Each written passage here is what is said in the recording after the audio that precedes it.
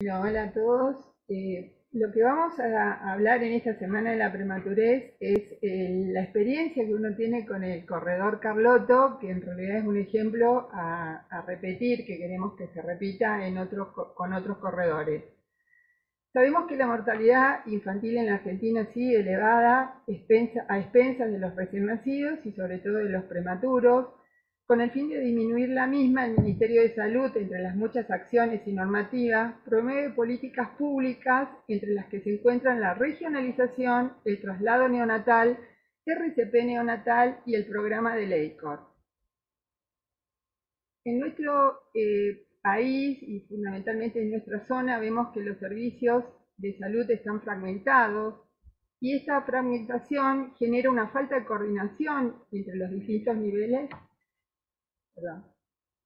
entre los distintos niveles de atención, que los servicios sean prestados en sitios menos adecuados, que haya una sobredemanda de pacientes de bajo y mediano riesgo en hospitales de alta complejidad, que haya dificultad en la accesibilidad por parte de los usuarios de los servicios, y es el primer paso a reflexionar si lo que nos preocupa es el acceso a la atención perinatal según grado de complejidad para garantizar calidad de servicio sanitario en mujeres embarazadas y sus recién nacidos.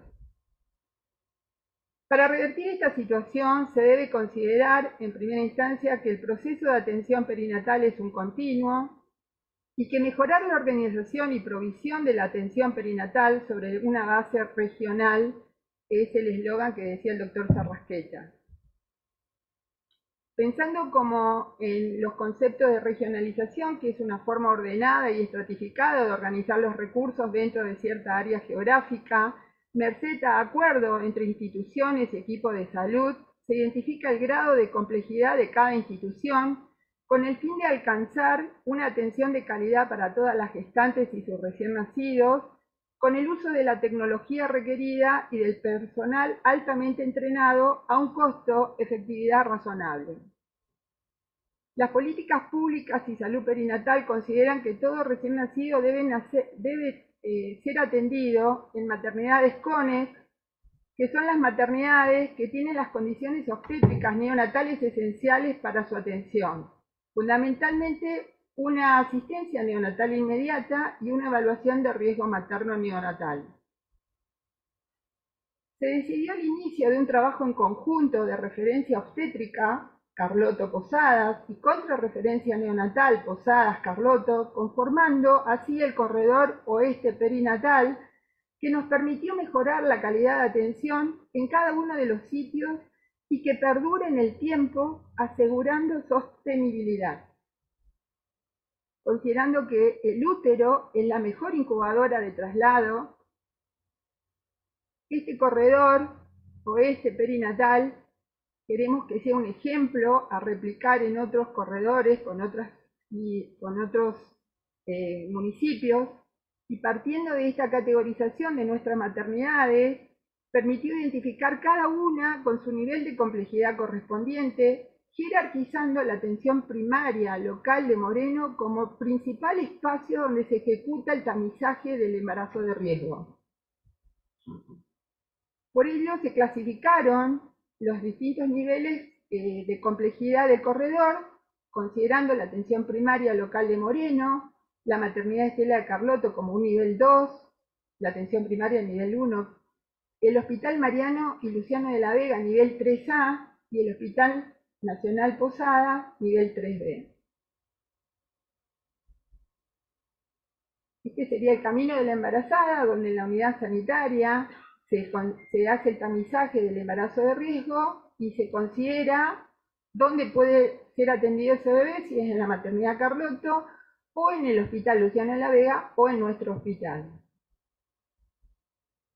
Haciendo un poco de historia, la gestión de contrarreferencia neonatal comienza en el año 2015, coordinado por la directora de redes del Hospital Posadas, la doctora, la doctora Delia Sanlungo, junto con los directores de la maternidad Carlotto, la, doctora Rosenberg y la doctora Servo, y el equipo perinatal, el doctor Casale, el doctor Fernández, y neonatólogos como el doctor Candís, la doctora Ventidegna, la doctora Hanner, la doctora Buenaventura, de la maternidad Carlota y del Hospital Posadas conjuntamente. Así se formó un convenio entre ambas instituciones pensando en el futuro en dos etapas. Perdón, estos son el equipo perinatal de esa época.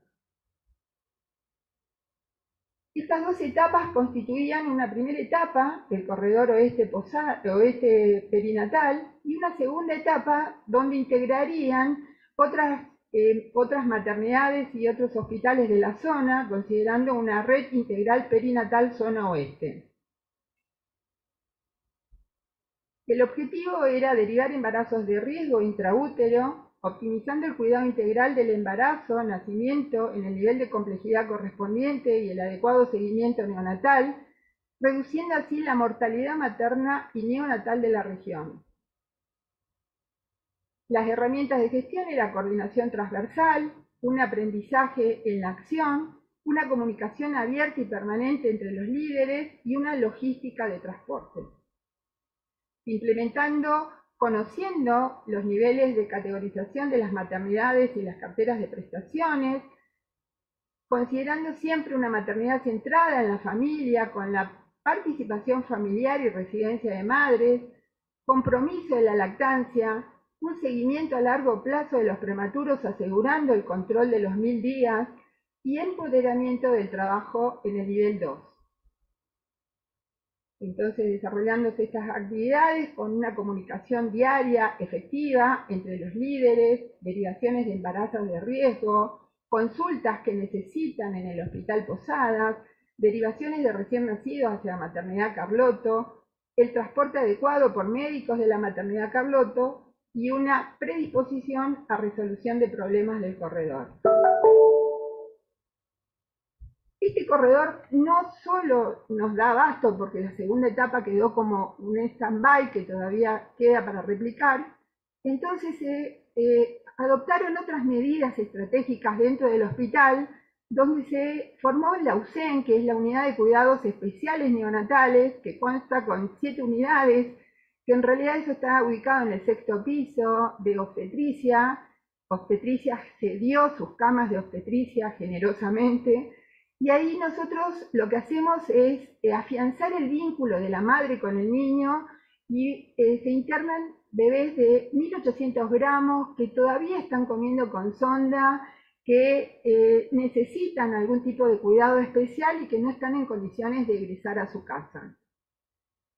Otra de las medidas que tomamos acá en el hospital es contrarreferenciar, tratar de contrarreferenciar al lugar de origen al paciente que recibimos que viene para un tratamiento específico. Somos centro de derivación de hipotermia y una vez finalizado el tratamiento, por ejemplo, se deriva a su, lugar de origen. Esto lo que nos hace es optimizar el recurso físico, tener la incubadora disponible para otro nacimiento. Y una colaboración muy especial que tenemos de los, pediatras, que es la reinternación de los pacientes febriles o con otras patologías en piso de pediatría. Esto la verdad que eh, todo bebé menor de 28 días generalmente se reinternaba en el, en el, servicio de neonatología y lo que nos generaba que ese prematuro, que fue microprematuro, que requirió surfactante, que estuvo mucho tiempo en respirador, se internaba un bebé con un sincicial respiratorio y ese bebé se contraía el sincicial respiratorio y la evolución que venía siendo buena volvía a ser tórpida. nuestro hospital se encuentra en una región que es estratégicamente ubicada con la autopista y la mayor derivación obviamente que es de nuestra región, pero también tenemos un alto porcentaje de la zona quinta y el resto de los porcentajes se distribuye entre las distintas zonas, incluso tenemos derivaciones de la zona sur. Estos son algunos de nuestros números eh, la verdad que nuestras estadísticas, lo que le mencionaba con el jefe de servicio del departamento perinatal, en realidad no nos podemos comparar con nadie porque somos el único hospital que realmente reunimos las condiciones CONES, porque es en el único lugar donde la madre puede tener su bebé, continuar si la mamá necesita algún tipo de terapia y el bebé tener la alta complejidad. No podemos compararnos con la SARDA porque la SARDA, si bien a veces hacemos números comparativos, la SARDA solamente tiene partos y todo lo que es quirúrgico lo deriva al Garraham. El Garraham no tiene nacimientos, el Gutiérrez no tiene nacimientos, entonces todo paciente que llega al Gutiérrez, que tiene que estar sometido a un traslado, es un paciente que tiene otra característica y que seguramente va a tener otra sobrevida. Cambian nuestros, eh, nosotros, nuestros números, nuestra tasa de recién nacidos, en general fue disminuyendo, pero se mantiene cerca del orden de 3.000. El año 2022 está dividido en tres trimestres, que generalmente en cada trimestre tenemos 735, 729, 710 recién nacidos vivos, de los cuales los menores de 37 semanas están dentro en un rango entre un 15 a 18% que se mantiene a lo largo del tiempo. Los menores de 1500 gramos están en un 3% a 5%, en general en 3 a 4% de los cuales eh, el ingreso a, la terapia es de un 20% en general, tenemos en el año 2019 19.8 y en, lo que va en el año 2022 tenemos cerca de un 20%. Nuestra tasa de mortalidad neonatal en general es de 26 por mil en el año 2019 y sigue estando alta, cerca del 20, eh, 25 por mil en el año 2022, pero no está discriminado en general en esa tasa de mortalidad. Eh, ahí nosotros tenemos, como son centros de derivación de gastrosquisis, de hernias diafragmáticas, de chicos polimalformados, de malformaciones eh, neurológicas severas, en general la tasa de mortalidad engloba a todos ellos, no está discriminado. Pero dentro de esa tasa eh, de mortalidad elevada, la tasa de prematuros sigue siendo elevada, sigue siendo casi el 50% de ese total. Esto es unos datos comparativos, por ahí, si bien dije que no nos podíamos comparar, pero tenemos algunas estadísticas con la maternidad sardá, nosotros todavía tenemos mucho, mucho que, eh, mejorar en nuestro accionar en los prematuros entre 500 y 749 gramos. Tenemos una sobrevida un 20% aproximadamente. Sí tenemos bastante buen éxito en los mayores de 1000 gramos, entre 1000 y 1300 gramos un 82% y los mayores de 1250 un 100% de sobrevida.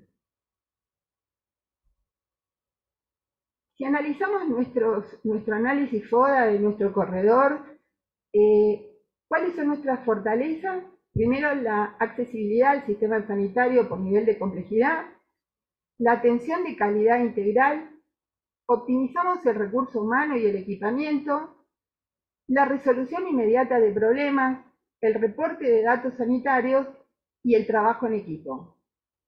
Nuestras oportunidades de fortalecimiento del sistema sanitario, ampliar la base de recursos disponibles para mejora de la infraestructura y equipos de tecnología, jerarquizar el primero y segundo nivel de atención. Nuestras debilidades son los obstáculos en la accesibilidad por la alta demanda. Muchas veces no podemos aceptar chicos porque realmente estamos con las unidades todas ocupadas. La relación enfermería-paciente que todavía consideramos que podría ser mejor, los niveles altos, de ausentismo que también podríamos mejorar. Nosotros consideramos que el SAME provincia tiene un funcionamiento ineficiente, entonces tenemos que a veces salir a trasladar chicos y Carloto tiene que venir a buscarnos nuestros pacientes cuando por ahí el sistema SAME provincia podía, podría estar un poquito mejor equipamiento y recurso humano escaso para la demanda, sobre todo en el nivel 2, a veces no podemos contrarreferenciar porque no tienen médicos o no tienen eh, los insumos necesarios para atender y llevarnos a estos bebés prematuros. ¿Y cuáles son nuestras amenazas? El creciente exceso de demanda, la fragmentación del sistema sanitario que queremos que, que no exista, pero existe, y una red todavía no formalizada, entonces tenemos muchas, muchas derivaciones que no son eh, programadas, que son derivaciones que la mamá dice vengo porque en el hospital sé que me van a atender. eh, un déficit de oferta de la mediana y baja complejidad, o sea, tenemos dificultad en la contrarreferencia y recursos presupuestarios limitados. Todo el, éxito de, nuestro accionar se debe a toda esta gente, este trabajo en equipo, fundamentalmente los neonatólogos, las enfermeras, saber que a cualquier hora puedo llamar al doctor Casal, al doctor Ferreros, los ayudantes de enfermería, la gente de limpieza, de seguridad, la gente de mantenimiento,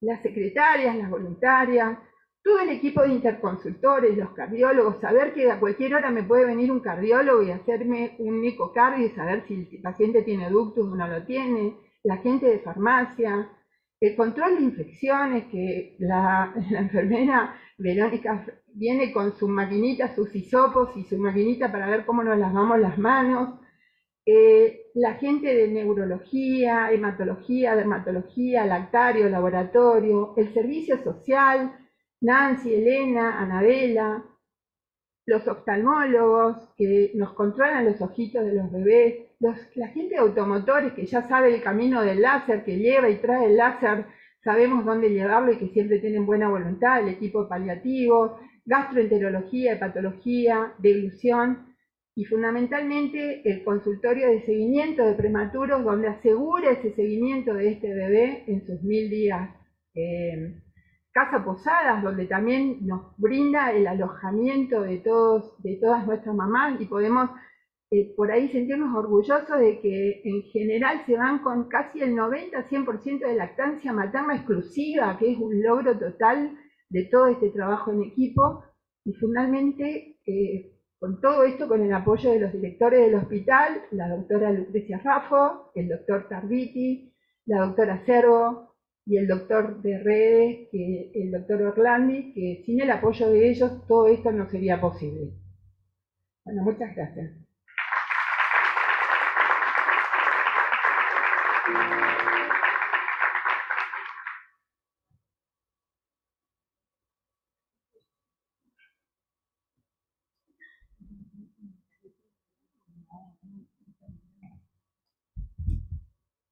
Bueno, muchas gracias. Bien. Bueno, mi nombre es Daniela Bustamante, soy jefa de la maternidad estera de Carloto. Ahora vamos a pasar a ver algunos números de, de estos siete años del corredor.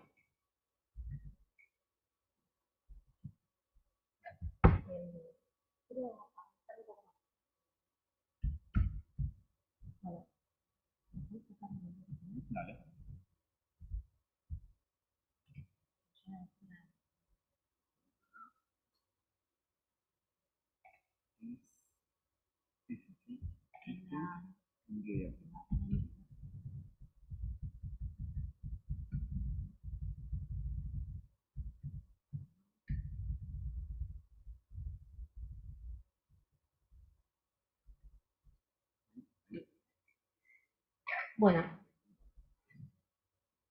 le vamos a compartir.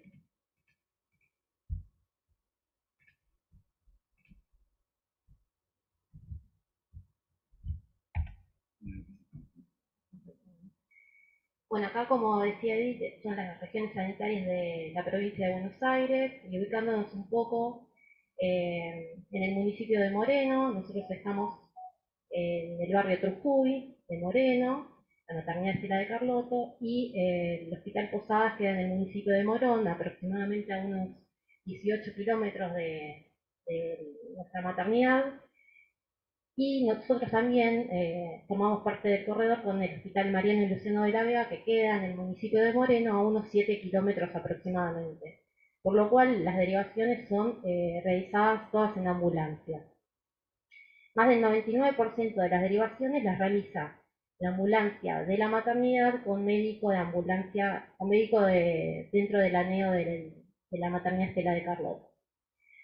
Em, y bueno, hablando un poco de las derivaciones de la alta a la baja complejidad y viceversa, esto se organizó según criterios establecidos por ambas instituciones, eh, tenemos a la maternidad que deriva de la baja a la alta complejidad.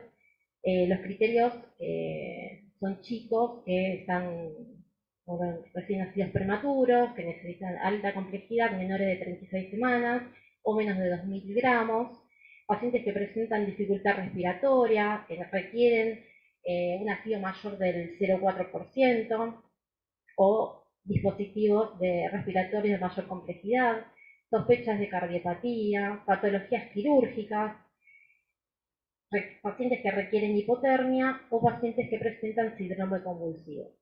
Con respecto a los pacientes que el Hospital Posadas deriva a la maternidad Estela de Carlotto, son pacientes que requieren bueno, finalizar la recuperación nutricional, ya presentando más de 1.500 gramos, eh, que todavía requieren utilización de incubadora, eh, utilización de sonda orogástrica, eh, pacientes que van a requerir luminoterapia, que están fuera del rango de examinotransfusión, aquellos que requieren finalizar el tratamiento por sífilis congénita con tratamiento endovenoso con penicilina o aquellos que eh, deben continuar con un seguimiento social o psicológico.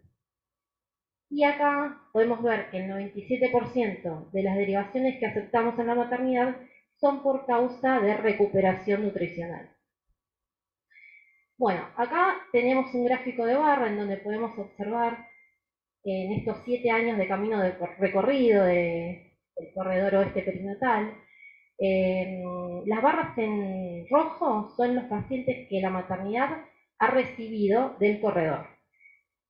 Aproximadamente es un promedio de 146, 150 pacientes al año, con un pico máximo en el año 2017, donde la maternidad recibió 225 pacientes, y un mínimo de 90 en el año 2019. Y también podemos observar en las barras azules que son los pacientes que la maternidad ha derivado a las distintas eh, instituciones de mayor complejidad, que en promedio anual resulta ser de 20-25 pacientes aproximadamente. En verde, que es la última barra, son aquellos pacientes que la maternidad tuvo que derivar para realizar interconsultas. Eh, las interconsultas en realidad son realizadas eh, a través del OCD, del Hospital Posadas, por ejemplo, o en el Hospital de Moreno nos comunicamos con, de médico a médico y podemos así realizar las interconsultas. En promedio, las interconsultas anuales son entre 15 y 20, por, 20 pacientes anuales. Eh, y de esto, haciendo referencia a los últimos tres años, 2019, 2020 y 2021, podemos ver que de esos 90 pacientes que recibimos en el año 2019, 61 fueron del Hospital Posadas, en 2020 de esos 161, 74 fueron del Hospital Posadas, y en el año 2021, de esos 149 pacientes, 66 eran del Hospital Posadas. En promedio, se suele mantener este, este número de pacientes anualmente. Bueno, aquí no se ve mucho, pero eh, nosotros, en 2019, recibimos, eh, nosotros derivamos al Hospital Posadas 10 pacientes de los 17 que requirieron mayor complejidad. En el año 2020 derivamos 8 pacientes al Hospital Posadas anualmente. Y en el año 2021 derivamos 13 pacientes anualmente, ¿no? O sea que en promedio es uno por mes aproximadamente. Y acá, observando los números del gráfico anterior, podemos ver que de ambos corredores, del corredor neonatal y del corredor obstétrico, por cada 7 pacientes que el Hospital Posada deriva a la maternidad Carloto, la maternidad Carloto deriva un bebé de mayor complejidad.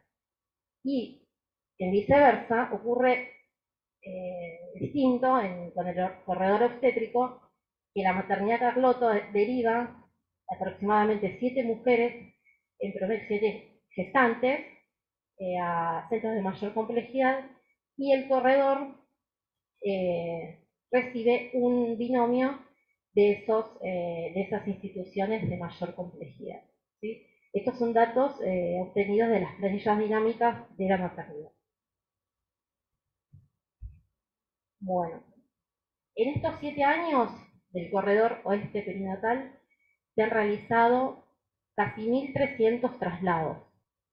De ellos, 1.027 fueron derivados de la alta a la baja complejidad, 168 fueron derivados de la maternidad a los centros de mayor complejidad y 84 fueron para realizar interconsultas. Eh, los motivos de las derivaciones a la alta complejidad, haciendo referencia al último año, que en realidad son datos que se suelen, los porcentajes suelen repetirse eh, en estos últimos años, eh, con un N de 23 hemos, hemos derivado pacientes porque requerían hipotermia en un 23%, pacientes que requirieron, que presentaban distrés respiratorio y requirieron ser derivados el 22%, pacientes que requerían ser evaluados por cardiología, por sospecha de cardiopatía, el 16%, pacientes que presentaban alguna patología quirúrgica, el 15%, y aquellos que eran prematuros de alto riesgo, un 10%. Todos estos, bueno, han nacido en la maternidad y requerían ser atendidos en un centro de mayor complejidad en el último año.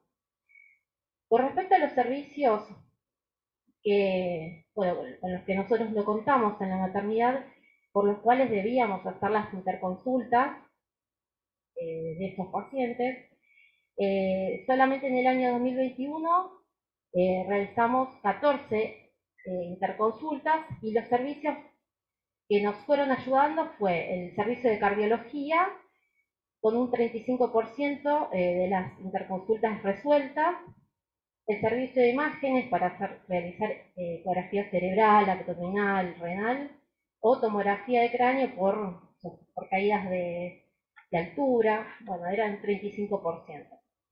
Y después, eh, dermatología, nos ayudó en el 7% de las interconsultas y neurología en el otro 7%. Bueno, también haciendo referencia al último año, eh, la NEO de la maternidad Estela de Carlotto presentó 450 eh, pacientes internados. Nosotros recibimos los pacientes de consultorio de niño sano, desde internación conjunta, desde la guardia de neonatología y desde el corredor sanitario. Estos 450 pacientes que se internaron en el año 2021, 150 pacientes eran del corredor sanitario. O sea que el 30% de los pacientes que tenemos internados nosotros pertenecen e ingresan por el corredor. De estos que ingresaron por el corredor, Muchas requerían incubadora, como estábamos viendo, el 97% de estos 150 son recién nacidos prematuros. Estaban en incubadora aproximadamente entre 8 a 12 días. Los días de internación en un año sumando todos estos recién nacidos era de 1500 y el promedio por estadía por paciente era de 15 días, con un mínimo de 3 y un máximo de 40. Todos son datos de los pacientes que ingresaron por corredor. Después, de estos pacientes, dos fueron contrarreferenciados nuevamente al Hospital Posadas porque requerían o tuvieron alguna intercurrencia, como por ejemplo una sospecha de sepsis tardía, una sospecha de sepsis nosocomial, por lo que debieron ser contrarreferenciados, superando nuestra capacidad de atención, obviamente. Cinco pacientes requirieron transfusión de glóbulos rojos por anemia del prematuro, y 10 pacientes requirieron antibiótico terapia endovenosa. La mortalidad neonatal de la maternidad dentro de la neo es del 0% eh, y se, se, suele mantener así año tras año. Gracias a que contamos con dispositivos, porque son chicos que, más allá que son del corredor sanitario o nacen ahí en la maternidad, muchos presentan riesgo de vida pero que son resueltas gracias a la aceptación en centros de mayor complejidad, como por ejemplo el Hospital Posadas. Y hablando un poco de la atención perinatal de este último semestre del año 2022, las derivaciones eh, de puérperas luego del nacimiento fueron de 6 en estos últimos 6 meses. Dos fueron por emergencia hipertensiva, una por eclampsia, una por síndrome HELP, una por atonía uterina con histerectomía y una fue por causa neonatal. Eh, bueno, acá este es un gráfico también del primer semestre del año 2022, pero refleja en realidad todos los, datos que se suelen repetir eh, mes a mes y año a año dentro de la maternidad gracias al tamizaje que se realiza dentro de los consultorios de tamizaje de obstetricia eh, y podemos ver que el 92% de los pacientes que nacen en la maternidad son de bajo riesgo, de 2.500 a 4 kilos, eh, el 99% a los 5 minutos ya tiene una Apgar mayor de 6, que el ingreso a neonatología luego del nacimiento, ya sea desde sala de partos o desde sala de quirófano, es de un 3.3%. Y este porcentaje es muy importante gracias a la actividad conjunta que se realiza durante el tamizaje, evaluando el nivel de riesgo y permitiendo la derivación oportuna. Y que el casi el 98% de los recién nacidos son de término. Eh, esto habla un poco de la parte del corredor eh, obstétrico, ¿sí? En el último trienio, año 2019, 2020, 2021, podemos observar que las barras en amarillo son las gestantes derivadas a la alta complejidad, y de la maternidad a la alta complejidad. En 2019 fueron 65 gestantes, en 2020 duplicó a 112, en 2021 fueron de 84 y en, este, este último año, hasta el mes de septiembre, fueron de 36. Ahí podemos ver que el pico máximo fue en 2020 y esto fue porque mm, la maternidad seguía siendo de baja complejidad y con la pandemia y las eh, gestantes con COVID, o sea, con sospecha de COVID, síndrome febril, eh, síndrome un cuadro respiratorio, eh, eran consideradas de alta complejidad, entonces por eso se derivaban y no se quedaban en la maternidad. Por eso es que hubo tantas derivaciones ese año. Y después, a medida que se fueron abriendo las, las restricciones y todo, y la maternidad empezó a contar con kits de, test rápido de COVID que podían llegar a saber si era o no positiva y entonces la, señora, la gestante se quedaba, la puérpera se quedaba dentro de la, maternidad hasta el alta. Y bueno, y en las, las barras verdes podemos ver que son las gestantes derivadas a la baja, a la baja complejidad, ¿sí? que en 2019 fueron 44, en 2020 76, que también hubo un aumento, en 2021 de 69 y en, lo que va del año 11. También podemos ver que hubo un pico en 2020 porque hubo algunos servicios, como por ejemplo en el Hospital de Moreno, que estaban, tuvieron menos plazas, por lo cual deberían derivar a las gestantes a otros centros y por eso nosotros también éramos centro de referencia en esa situación. Y bueno, hablando acá también un poco de la comparación interanual 2021-2022, eh, lo único que, lo que es el corredor, los primeros dos gráficos, que son el corredor neonatal, en que se mantuvo el número de la comparación interanual, pero lo que tiene que ver con las gestantes, que son las últimas dos, últimos barros, donde dice las gestantes derivadas de la alta o de la baja complejidad, hay una diferencia también por esto, por la, pandemia y por las pacientes que debían ser derivadas de un lado al otro. Bueno, hablando un poco de los logros del corredor sanitario, se observó que disminuyeron las infecciones asociadas a los cuidados de la salud en la terapia neonatal del Hospital Posadas, que pasó de un 17% en el año 2016 a un 12.5 en el año 2019. Aumentaron las unidades disponibles de alta complejidad 1027 pacientes de la alta a la baja complejidad fueron derivados, por lo cual obtuvieron 1027 plazas en la alta complejidad para poder hacerle frente a otros a otras eh, y en el año 2018 se logra una, una tasa de lactancia materna en el Hospital Posadas de un 97% gracias a todas las medidas implementadas. Y bueno, acá estas son fotos de, la maternidad, debido a que nosotros, a estar de baja complejidad, no teníamos partos prematuros, pero sí nuestros prematuros ingresaban a través del corredor. Entonces, eh, se debía hacer, se debieron eh, ampliar los servicios, como por ejemplo, no teníamos consultorio de alto riesgo para atender a los niños de, que ya estaban dados de alta, y por lo cual se abrió el consultorio este de alto riesgo con dos doctoras, eh, que una es neonatóloga y la otra es generalista. También se disminuyó la tasa de mortalidad materna en el municipio de Moreno, era de 12.9 por 10.000 en el año 2010, y se disminuyó en el último trienio a 3.1. Bueno, con el corredor oeste perinatal se logró el concepto de red, existe una comunicación efectiva y continua bidireccional las 24 horas por distintos dispositivos.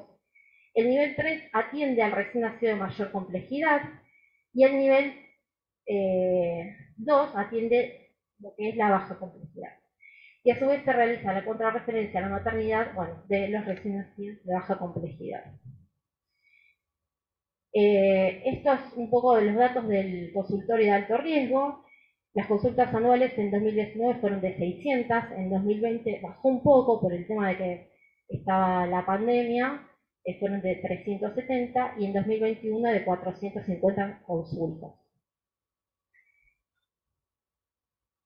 También pudimos reabrir, que se había cerrado por el tema de la pandemia, el programa de estimulación temprana, se reabrió en el mes de marzo con tres estimuladoras que trabajan tres días a la semana y estos son niños, Simón era un niño que había nacido en el hospital Posadas, que fue derivado a la maternidad y bueno, y este año comenzó el preescolar.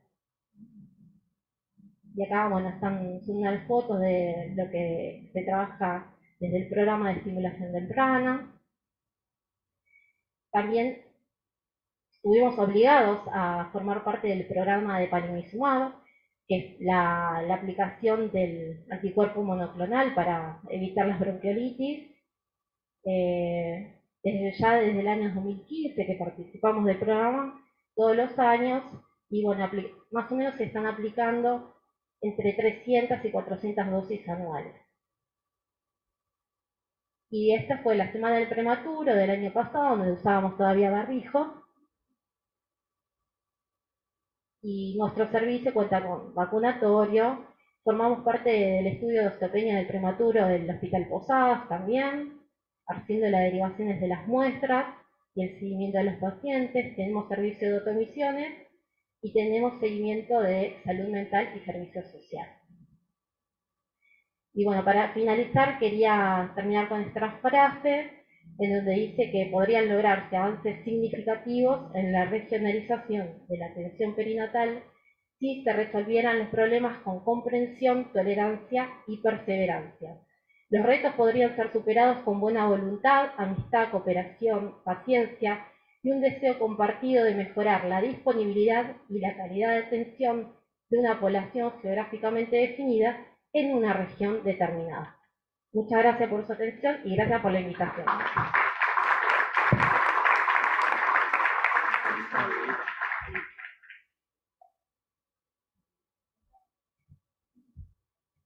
Ahí viene un video eh, para terminar la, las jornadas.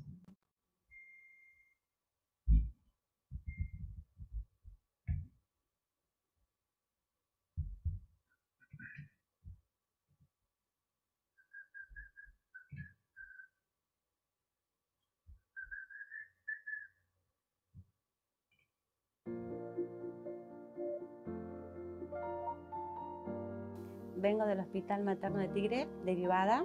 al Posada. A las 19 semanas me descubrieron acretismo placentario. Eh, mi hija nació a las 26 semanas con 965 gramos y hoy en día pesa un kilo 985. Tiene 36 semanas. Es lindo la vida del prematuro, es difícil porque a veces los partes médicos son buenos, a veces son malos. Y bueno, esperando de subir de peso y después irnos a casita cuando cumple las semanas. Francisco nació con 26 semanas de gestación. Estuvimos un mes y medio en terapia. Fue un camino muy largo. Él siempre fue para adelante.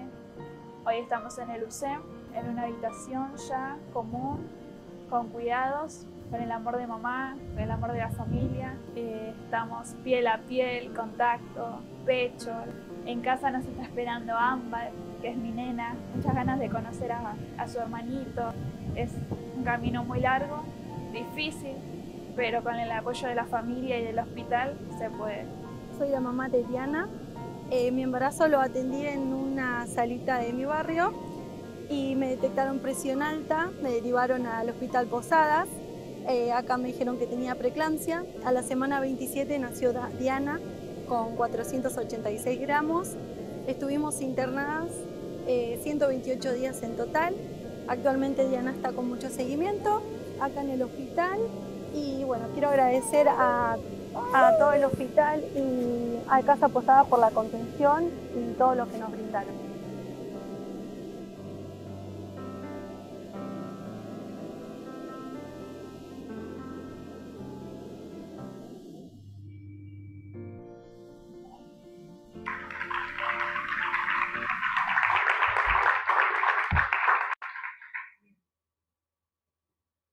Silvia, ¿querés decir algo?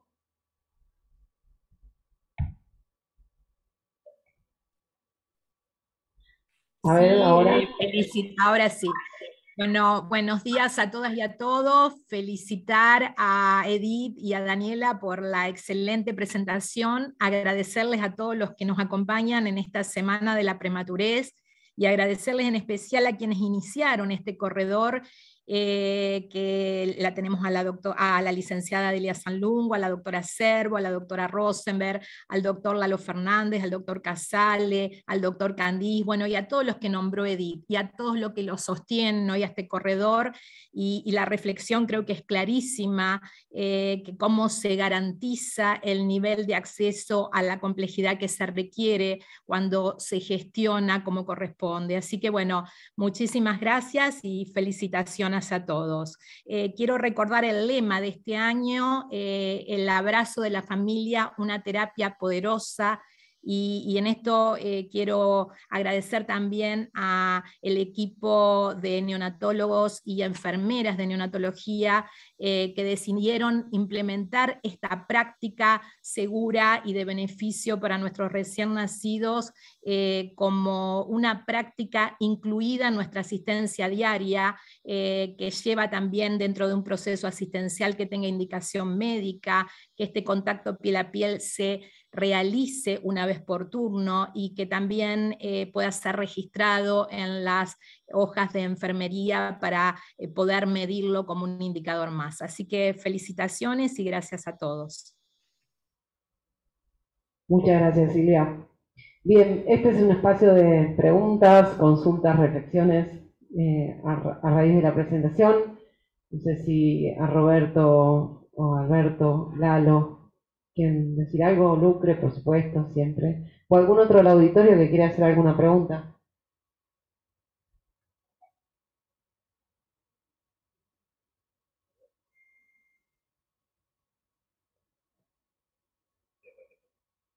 Bueno, coincido con Silvia, voy a poner el estado acá por la luz. Eh, los felicito, esta es una, de nuestras redes más cuidadas y mimadas desde el nacimiento eh, creo que realmente está todo dicho.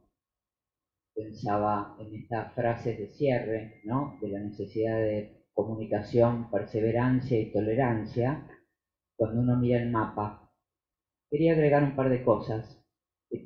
Tenía un pensamiento, además de, la felicitación a ambos equipos, eh, que pudieron concordar Pero mirando el mapa y mirando que uno puede decir que en forma, por la vía formal, yo creo que es la única red y corredor perinatal que funciona como se debe para una región en la que vimos la amplitud del mapa de centros de salud y de habitantes.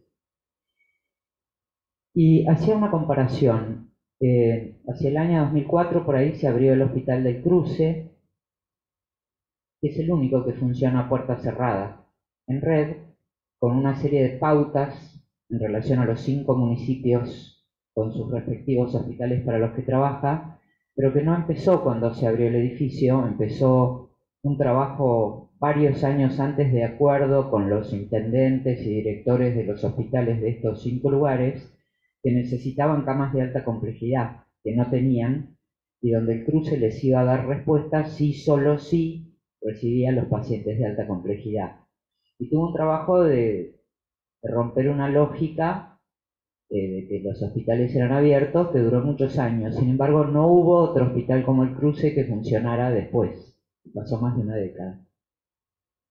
Yo me permito corregirlos en que el proceso de este corredor no empezó en el 2015. Empezó alrededor del 2010 cuando se, el municipio se adquiere el terreno de, la maternidad, que era un anhelo del municipio de Moreno de más de una década atrás, termina siendo provincial, pero durante todo el desarrollo de la maternidad, con el acompañamiento de Ana Esperanza, Schwartz, gente de Nación, obstetras que fueron de acá, había discusiones infinitas en este edificio donde le decíamos a los que gestionaban en esa época, miren que la obra no es nada más que una etapa, una obra es un gran dolor de cabeza, pero después se acaba la obra y empieza la realidad que funcione de acuerdo a esas pautas, que esté el recurso humano, que estén los insumos, que el equipamiento se mantenga, y eso es para siempre. La obra es lo que dura la obra.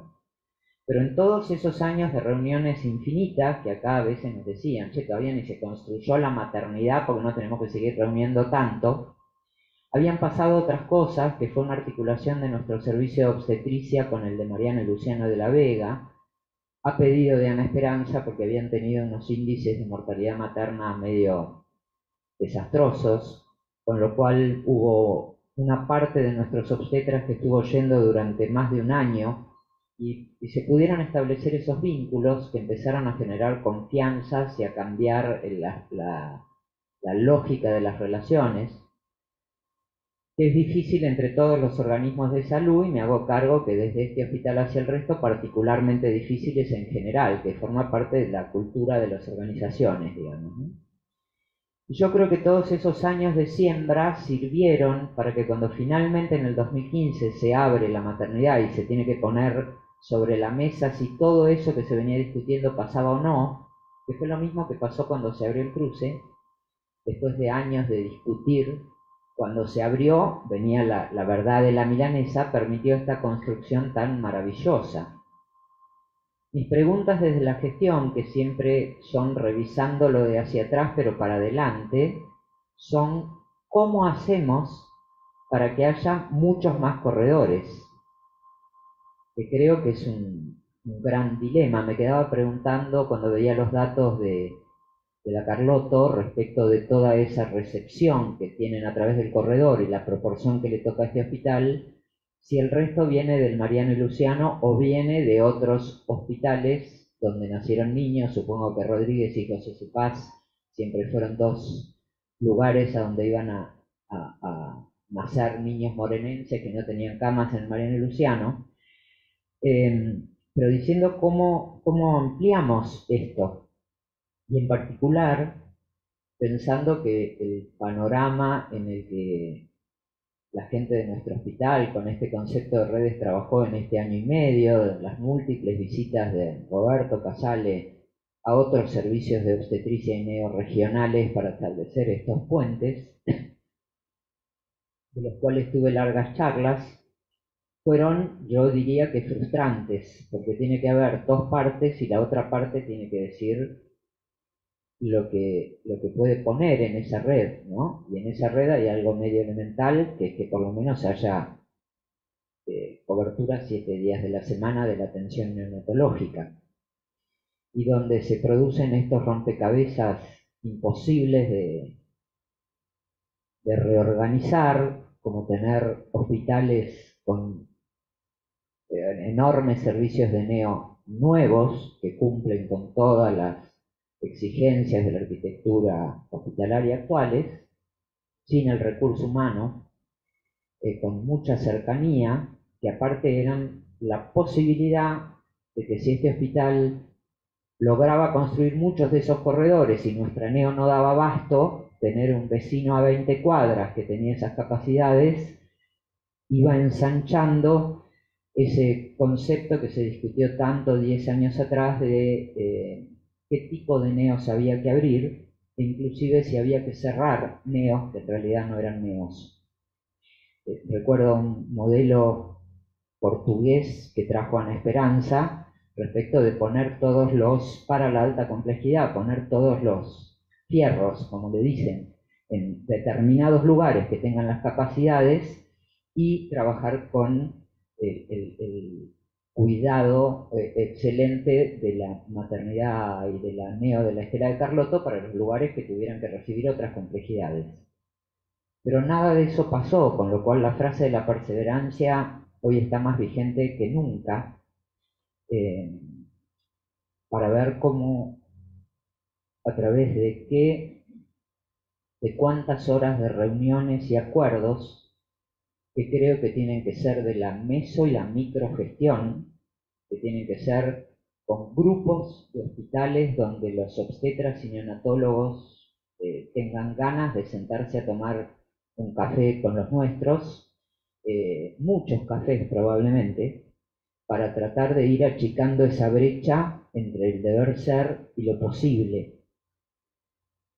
Porque en las redes uno ve eh, lo que funciona y ve toda la gente que quedó atrapada porque no se logran implementar. Las redes siempre son con otros, con lo cual no se pueden hacer desde este hospital, porque se nos cante, digamos, tienen que ser en base a acuerdos con otros actores de, de las redes de servicios de salud. Y creo que nuestro desafío permanente y a sostener y a volver a reinventar para el año que viene tiene que ser poder lograr incorporar por lo menos dos corredores más en un arduo trabajo, en particular definiendo aquellos lugares donde la problemática es más grave, porque realmente la existencia de la maternidad Estela de Carlotto y, la red con el hospital le dio una respuesta al municipio que estaba en color bordó respecto de la respuesta que tenía para la atención perinatal la capacidad que tenía de camas. Recuerdo que hace 10 años atrás el Mariano y Luciano La Vega, el casi 50% de los egresos eran obstétricos eh, y no daban ni para cubrir más que un tercio o un poco más de los nacimientos de personas que vivían en Moreno. Con lo cual entiendo que el escalón se ha subido maravillosamente en un lugar que además lo necesitaba y seguramente todavía debe seguir necesitando, digamos, ¿no? Es decir, nada debe estar resuelto, todos, y acá voy a quizá pecar por ignorancia en no estar actualizada, estamos poniendo en el flujograma al Hospital Mariano y Luciano de la Vega, pero yo el mayor conocimiento que tengo es de cómo funciona fluidamente la red con la maternidad de Carlotto, y no sé eh, cómo está incorporado el Luciano en esta etapa. Eso es algo cambiante, tiene que ver con las gestiones, pero no recuerdo que funcionara tan aceitado como funcionaba con la maternidad. Así que quizá eso también sea un desafío para el año que viene, que nos beneficiaría a nosotros y a la maternidad Estela de Carlotto y básicamente a las personas gestantes que van a tener hijos y que viven en Moreno, más allá de que no haya una división por partido de residencia estricto, digamos. ¿no? Y, me parece que tenemos que ser perseverantes, absolutamente perseverantes, para que se puedan incorporar algunos corredores más. Yo creo que este ya es indestructible porque está montado en buenos vínculos entre personas que trabajan con un objetivo común, que es lo que le garantiza la continuidad, cambien las gestiones, cambien los gobiernos, cambien los directores, creo que está para quedarse y que la verdad aprendimos tanto de ambos lados de este que, tenemos que hacer la fuerza de trasladar esta experiencia para que las camas de alta complejidad de este hospital eh, puedan funcionar con esta modalidad de red para otras áreas de graves problemas en el nacimiento actuales. Estamos en la semana del prematuro, pero podría ser extensivo esto a montones de otros problemas de salud, además de la atención perinatal para las redes en, este, en esta etapa. Así que lo único que garantizamos es la perseverancia eh, y, el no dejar de intentarlo y espero que, bueno, esto le estimule la creatividad, porque realmente para tratar de implementar esto se necesita inventarlo de nuevo en el vínculo interinstitucional, hacer algo que lo que provoque un nuevo parto de vínculo, que lo, lo amase de otra manera para que sea fructífero. No, no tenemos derecho a que no lo sea, porque estamos eh, pidiéndole a, mucha gente que tendría que poder utilizar esto que lo haga. Los felicito, eh, creo que tienen vida propia en este corredor y que es un enorme mérito, no solo que lo hayan logrado, sino que lo hayan sostenido eh, tan sólidamente en el tiempo. Gracias.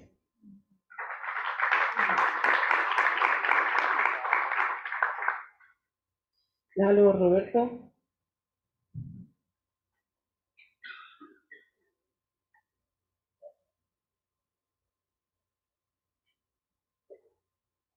Bueno, buen día todos, a todas. Gracias por invitarme. Eh, una satisfacción venir de vuelta al hospital después de tantos años. He venido otras veces, pero siempre es el hospital de uno. Eh, los aspectos de residentes, compañeros de residencia. Eh, esto es un poco para reivindicar, reivindicar también las alianzas informales, que tanto se habla a veces mal de ellas, que hay que formalizarlas pero que realmente eh, todo empezó con dos docenas de media luna y dos cafés con leche cuando en la maternidad vinieron, me acuerdo, Chiqui San Pietro y Eduardo Candiz en ese momento, porque a veces también eh, nos pasa a los que atravesamos por el Posadas que nos parece que solo nosotros somos los que podemos atender bien a las personas y tuvieron que ir a mirar el lugar donde íbamos a recibir a los, neonatos del hospital para convencerse de que era un lugar posible Lejos de convencerse en esa reunión, le pedían los celulares a las madres de los chicos que derivaban y les preguntaban cómo los atendíamos. Parecía una empresa privada que les preguntaba sobre calidad, ¿no? Una encuesta de satisfacción. Y cuando vieron que la gente estaba feliz y encima de, estar bien atendida, estaba cerca de la casa, este, porque a veces no pensamos en todo eso, ¿no? Que a veces la gente tiene que trasladarse meses, ¿sí? Al lugar donde están internados esos recién nacidos. Así que creo que desde esos café con leche y media luna este, a, a, ver mil, casi 1.300 este, recién nacidos recibidos en, la baja complejidad, es una, una, satisfacción de haberlo podido sostener. Decenas de llamados, la madrugada con Roberto, con Alberto, con demás, para poder recibir esos chicos o para poder derivar este, mujeres, pero lo que era impensado era cómo la alta complejidad iba a drenar parte de sus pacientes a la baja complejidad y como siempre decíamos, no, no, liberamos un respirador, pero liberamos horas de enfermería, plazas, se descomprime la atención y es muy, muy valioso esa situación. Nosotros lo vemos en la guardia cuando tenemos la tranquilidad de que las mujeres este, que tienen la necesidad de ser derivadas al hospital son derivadas en tiempo y forma, de lo que hablamos siempre, no la estratificación del riesgo y la derivación oportuna.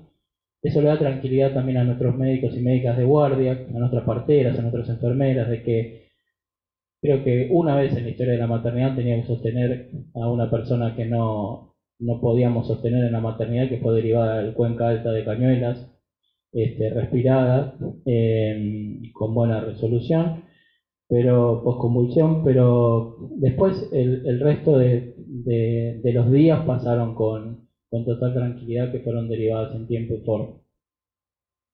Em, dos o tres reflexiones chiquitas para poder dar la palabra. Eh, una, se hablaba de las CONES. Creo que hoy en día es un compromiso incluir dentro de las CONES a eh, la, ley del parto respetado. Creo que las maternidades que no cumplan con la ley debería ser uno de los requisitos ¿sí? a poner arriba de la mesa para ver si realmente pueden ser una maternidad eh, segura. Después de que, otra cosa que por ahí no hablamos mucho hoy fue de que tenemos que comprender que todo esto que hacemos es ni más ni menos que garantizar los derechos de las personas que, van a parir. Eh, no es menor que cada recién nacido o que cada persona gestante pueda ser atendida en el lugar que su complejidad merece, donde no se pierdan tiempos, donde se optimicen los recursos, porque también en la gestión es nuestro compromiso poder optimizar los recursos y no malgastarlos. Y creo también que no es solo el derecho al parto respetado, sino que eh, todos los derechos van de la mano. No hay parto respetado sin interrupción voluntaria del embarazo, no hay parto respetado sin anticoncepción quirúrgica, femenina y masculina. Y esto fue un proceso largo, como les decía, de ya vamos a cumplir 10 años en la maternidad. Nos criticaron mucho porque no hacíamos al principio y lo que estábamos haciendo era planificando, proyectando, Recuerdo cuando Roberto, la, una de las primeras charlas que tuvimos era qué íbamos a internar y me decía lo único que puedes internar es occipito ilíaca izquierda anterior y nada más. O sea, otra cosa no lo hagas. Y hablando de lo que decía recién Lucrecia, de que esto no se replicó en otros lugares, creo que también uno de los errores en los cuales que no se ponen arriba de la mesa es cuáles son las metas que queremos seguir en ese, en ese sentido. Si ponemos metas muy, muy altas, nos frustramos rápido y la cosa desaparece. Me acuerdo que una vez me invitaron a una charla en la semana de parto respetada en un pueblo de la provincia de Buenos Aires porque estaban muy preocupados porque tenían el 90% de cesáreas. Y yo les decía que iba a ser imposible bajarlo a niveles óptimos rápidamente y eso iba a frustrar mucho a la gente. Entonces lo que les planteaba era si podíamos por lo menos permitir que quien decidiera esa persona acompañara a esa embarazada a poder parir en, en ese quirófano acompañada. Entonces si la tasa de acompañamiento, que claramente arañaba el 10%, porque si no dejaban entrar a ninguna persona a quirófano porque era 90% de tratemos de empezar a, dejar acompañar.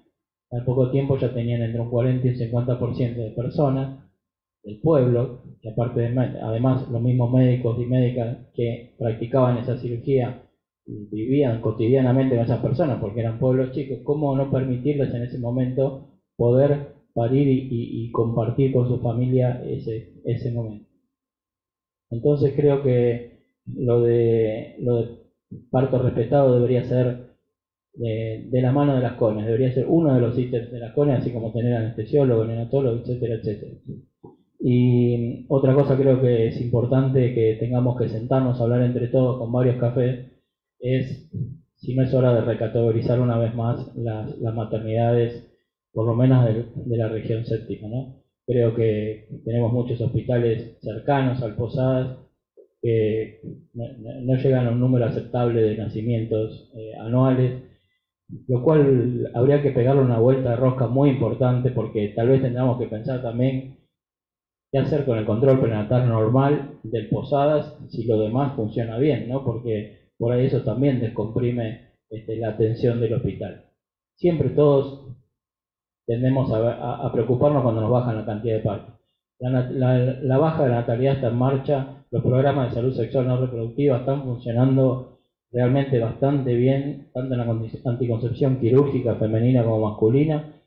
Paso el chivo, la maternidad llegó a las 1.300 vasectomías sin bisturí, con lo cual este, también es mentira que los hombres no quieren hacerse una vasectomía. Tenemos listas de esperas hasta, hasta el mes de enero y es posible. También les quiero comentar que instalamos esto, otro chivo más, es el screening del primer trimestre para embarazadas, para cromosomopatías y preeclampsia.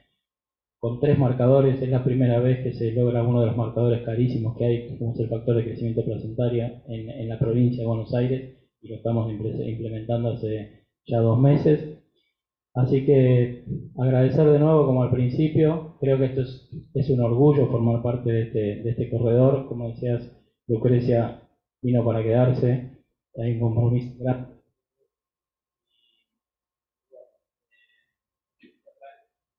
No, ah, ahí está. Em, eh, hay un compromiso grande de hacerlos.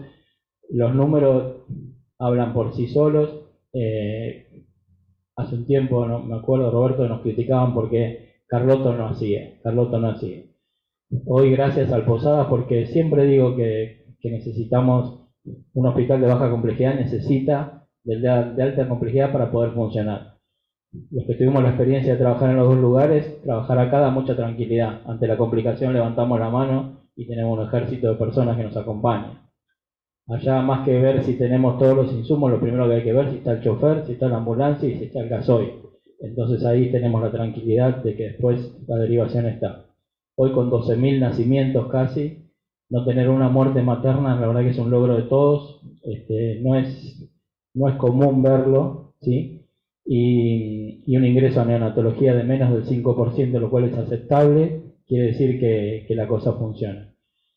Tuvimos que convencernos de eso, tuvimos que convencernos que una mujer con dilatación completa puede estar caminando este, en el parque, que no todas tienen que parir con las piernas atadas, que la episiotomía no es una, hoy ya una práctica de rutina, y todo eso la verdad que enorgullece mucho, fue una curva de aprendizaje muy larga, los cafés fueron necesarios y valieron la pena. Así que bueno, muchas gracias por escucharme y por la invitación.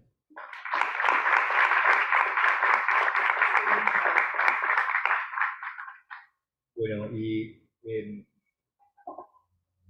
me toca, bueno, hablar de esto de Lalo. Eh,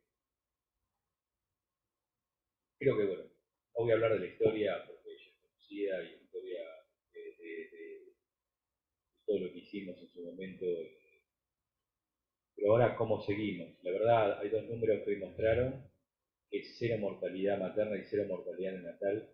Creo que eso es una cosa impresionante, eh, verlo en una maternidad nivel 2 creo que en la provincia de Buenos Aires es este, la única maternidad nivel 2 que funciona en red, que funciona una red verdadera, que funciona con indicadores de calidad. Y el resto, lo que sucede, es una cosa tremenda, es que realmente no se cumple lo que sería un parto respetado. Porque si yo quiero respetar a personas gestantes que van a tener una maternidad, lo primero que tengo es darle seguridad en la atención. Y no le estoy dando seguridad cuando yo lo único que pongo es un cartelito que dice maternidad y un cartelito que dice neonatología, y eso no representa la neonatología porque cuando este, se interna una mujer embarazada, le dicen, ah, no, no, hoy no pueden hacer porque el neonatólogo no está, porque está para la enfermera, porque está para no sé Está lleno, como hablaste muy bien, Lalo, en la región, de lugares que dicen neonatología o dicen que maternidades y no cumplen ese rol. Realmente esto es una decisión política que hay que tomar, creo que el poder que tiene que tomarlo es el Ministerio de Nación. Ayer precisamente estuvimos con Juliana Fickestein, que es la directora de Niñez y Adolescencia y Sanidad del Ministerio de Salud, y hablando de este tema, fundamentalmente hablando del tema de la red que quieren hacer de similares, y mira, lo que que hacer es red real. Y le explicamos que acá estaba, o sea, que todo lo que se habló y que siempre están, están todos los libros de gestión y de y de salud perinatal y de regionalización estaba en funcionamiento con, con, la maternidad Carlotto del Hospital Posadas y el Hospital Luciano. La verdad es que esto lo pueden llevar a cabo con el poder de la Rectoría de Nación, por lo menos en la región séptima. No le dijimos, o sea, el marco teórico se lo achicamos bien. Y esto necesita gestión y realmente sentarse. Creo que la decisión es no cerrar ninguna maternidad. Yo no cerraré ninguna maternidad porque por tema político es muy difícil hacerlo, aunque habría que cerrarla, pero sabemos que es muy difícil, pero dejaría maternidades prácticamente para hacer esos partos que vienen, lo dejaría con una obstétrica, una enfermera neonatal, y realmente abriría buenas maternidades nivel 2, reproduciría el, modelo de maternidad nivel 2, eh, y necesitaríamos acá en la región dos maternidades nivel 3 y una nivel 3B que eh, pueda funcionar adecuadamente para la regionalización. No es algo imposible, no se necesita toda una decisión nada más política al respecto, un consenso político eh, para poderlo realizar. Nosotros de estamos dispuestos a trabajar y a colaborar para eso, por ser el, máximo, el inspector de máxima complejidad, y creo que el modelo este es un modelo que está para quedarse, creo que superó, ¿verdad?, lo que dijiste Lucrecia, las gestiones políticas, porque pasó ya tres gestiones, así que pensamos que la próxima vamos a superar perfectamente. Así que bueno, eh, los felicito realmente a todas y a todos por este modelo. Gracias.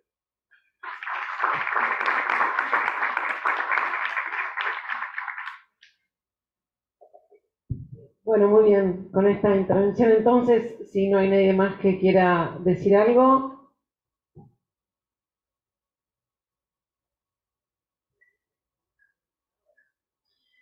Es cierto, también con su emoción, ¿no? Como cuando uno presenta estas cosas, más allá de los números, cuando sabe que está presentando una historia, eh, dejarse atravesar por las emociones tiene que ver con la integridad, ¿no? Y yo sé que todos nosotros hoy acá, o por lo menos yo, estoy atravesada por muchas emociones, por los aplausos que escucho afuera, por, por la historia de la maternidad, y no es vergonzante, es un orgullo porque sin duda lo que nos tiene acá es un poco la emoción. Entonces, bueno, muchas gracias. Gracias.